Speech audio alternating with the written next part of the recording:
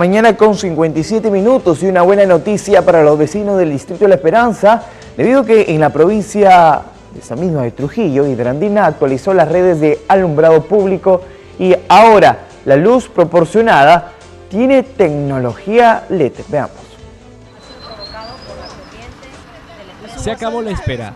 Dos de las avenidas principales del Distrito de La Esperanza cuentan con nuevo alumbrado público.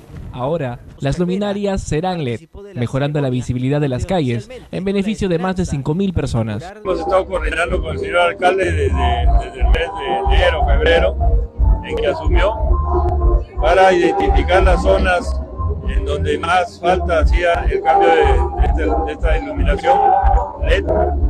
Y entonces estamos, estamos cambiando luminarias de, de vapor de sodio por LED este cambio de, luminarias que, mejora el ornato, mejora la seguridad y recupera espacios públicos. El alcalde del Distrito de La Esperanza, Wilmer Sánchez, explicó cuáles son las zonas que fueron beneficiadas con este proyecto de alumbrado público. Iniciar el cambio de alumbrado eléctrico a luz LED en diferentes avenidas que han empezado como la avenida La Eximura, acá la 22 de febrero, sobre todo el compromiso de Danina de continuar con, con las siguientes etapas de seguir iluminando áreas oscuras, eh, plazas que están este, con luz que parece espera y ahora va a ser una luz moderna, ¿no? Entonces, yo creo que el Distrito de la Esperanza, como lo ha dicho su gerente ya en los próximos años, va a, llegar al 100% de tener una luz NEX y una luz amarilla.